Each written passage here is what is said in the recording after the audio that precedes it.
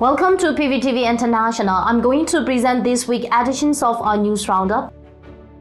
Cabinet News, NUG acting president issues statement on Boutish stats. On June 27, the acting president of the NUG issued a statement regarding the abbot of Winne Meitayo Monastery in Bago region, who is also a retired member of the State Sangha Nayaka Committee, to express his regret that he had passed away and that of all those involved in spreading false information about this incident would be held accountable.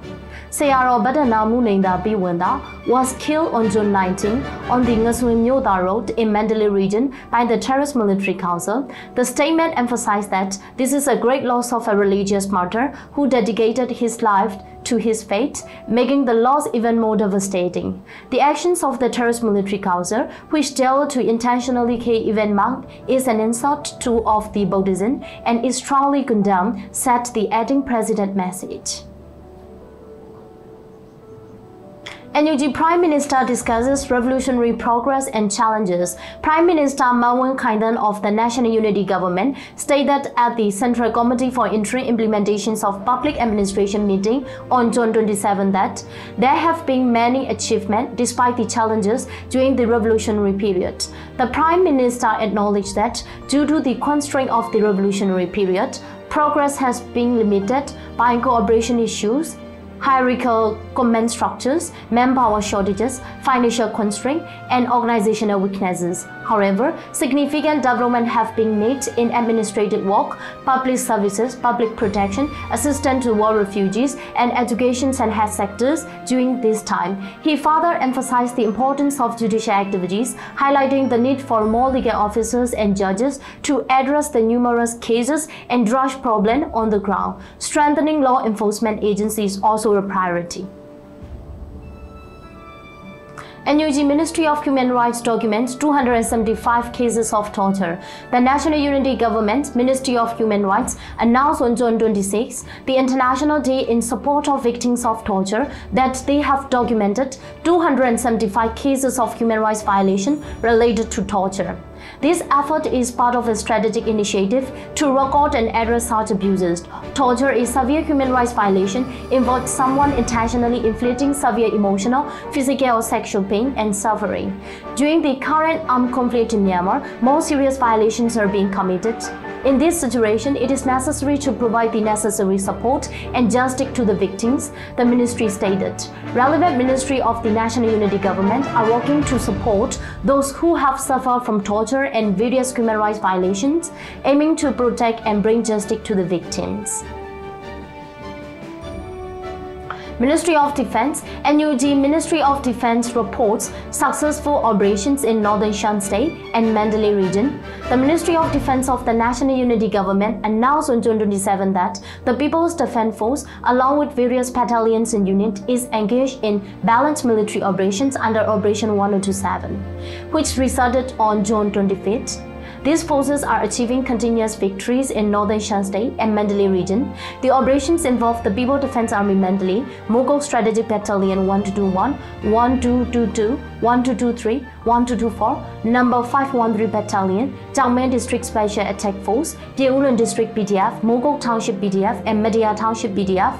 They are fighting alongside aligned ethnic resistance group on Kyaukme, Nawnghkio, Mogok, and Madaya fronts. In this operation, they have successfully captured Nawnghkio Light Infantry Battalion LIB 115, Pandalay Town, Chaojan Town, and Yizo Town military camps, and Masai Battalion 606 in Madaya Township. Revolution forces are continuing their offensive to complete the occupations of the terrorist military bases housing LIB 114 and the 1014 Air Defense Force in Jimnyai. Additionally, revolutionary forces in cooperation with Alliance are working to occupy the cities of Mogok and Kyaukme, capturing most of the enemy's military bases and achieving continuous victories. Ministry of Human Rights, Union Minister U Aung discusses terrorist attacks with U.S. State Department official. On June 22nd, Union Minister U Aung of the National Unity Government met with Principal Deputy Assistant Secretary of the Bureau of Democracy, Human Rights and Labor Mr. Robert S. Gilchrist at the U.S. State Department to discuss the terrorist military council attacks targeting civilians.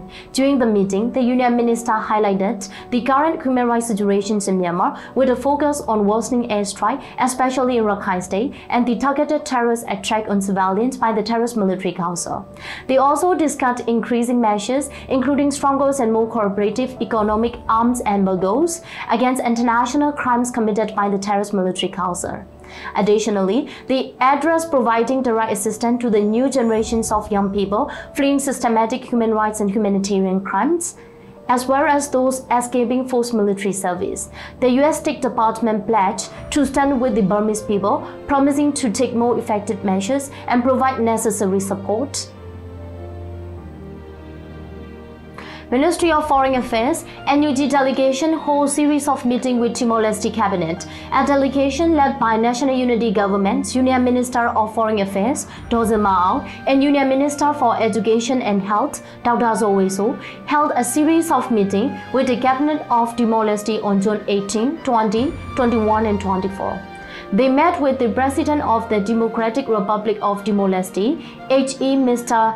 Jose Ramos Horta, Deputy Prime Minister H.E. Mr. Mariano Assanami Sabino, Minister of Foreign Affairs and Cooperation H.E. Mr. Benedito dos Santos Freitas, Minister of Education H.E. Mrs. Judy Jesus Soares, Ministry of Health H.E. Mrs. Elia A.A. Dos Risi Amara, and Deputy Minister of Health H.E. Dauda Flavio Brandio, these discussions cover Myanmar issues, cooperations between Myanmar and Timor-Leste, and the success of the Federal Democratic People's Revolution.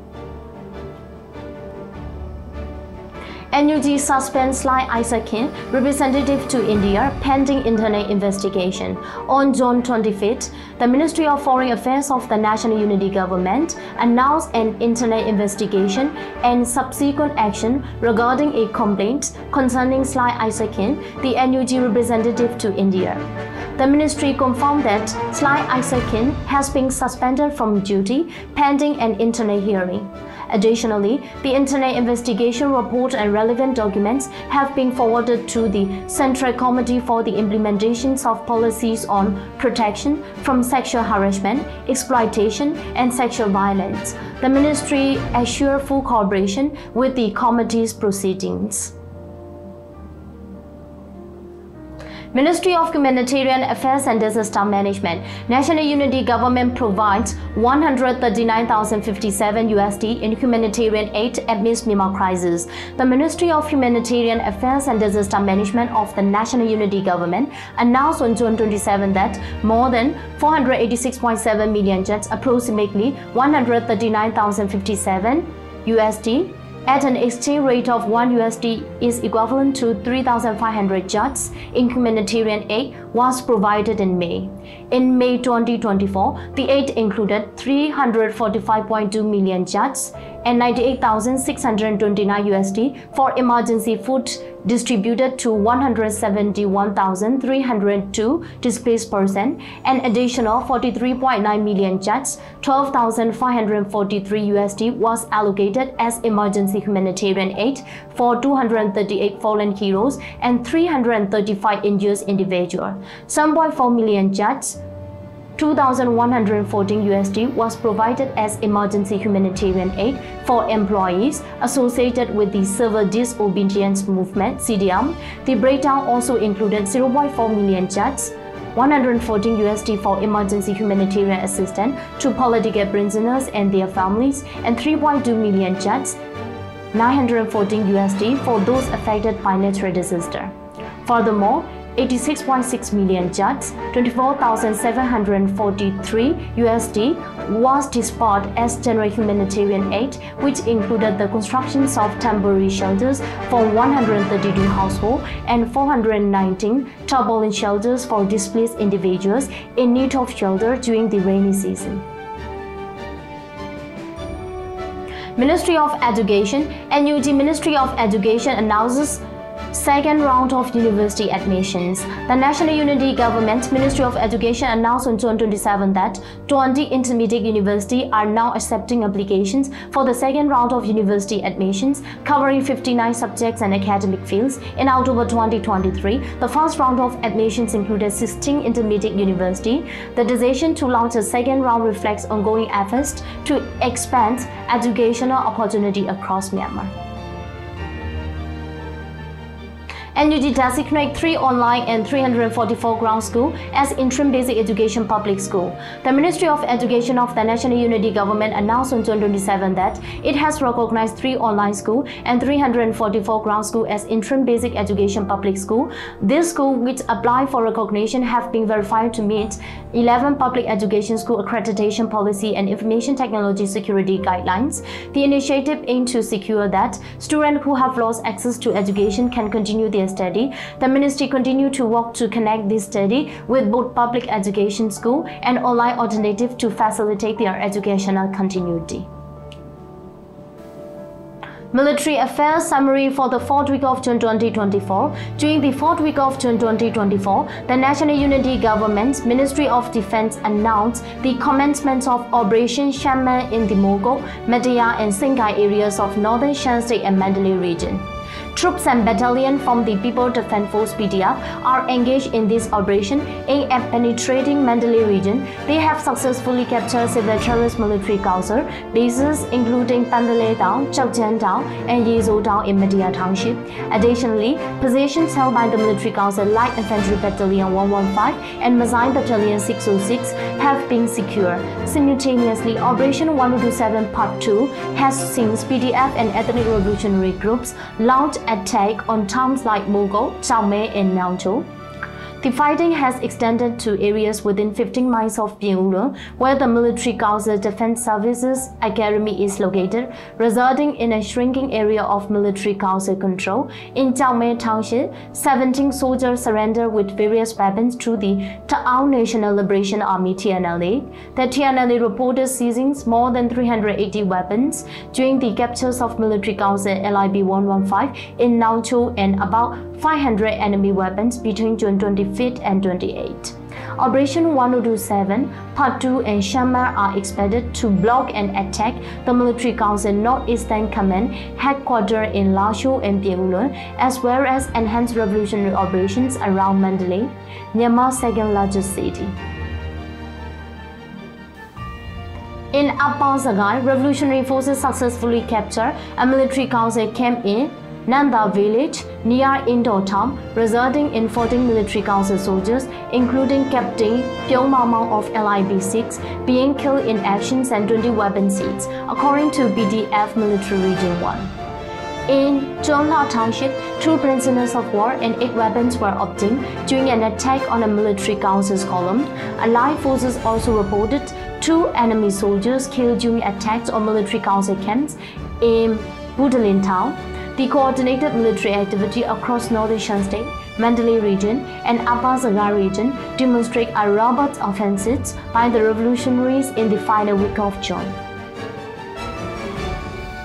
Let's see what do we have for our weekly roundup news in coming weeks. Thanks for watching PVTV International.